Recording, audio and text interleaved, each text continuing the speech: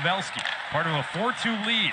As the Flames on the attack, Ruzicka, he shoots, he scores! Oettinger was moving away, maybe screened for a moment by Lundkvist.